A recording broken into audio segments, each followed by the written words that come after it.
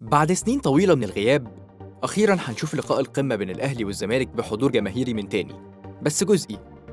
طبعا الأمر تطلب تحضيرات أمنية كبيرة لفصل الجمهورين.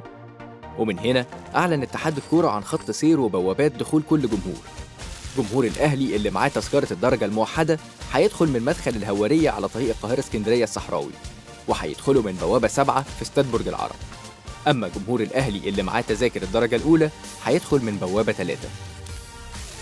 جمهور الزمالك هيروح ملعب برج العرب عن طريق محور التعمير في الكيلو 21 وهيخشوا الملعب من بوابة 10 بالنسبة للدرجة الموحدة. أما اللي معاهم تذاكر الدرجة الأولى هيدخلوا من بوابة 2 لاعبو الفريقين هيدخلوا من بوابة 4 وبوابة واحد هيدخل منها كبار الشخصيات والإعلام.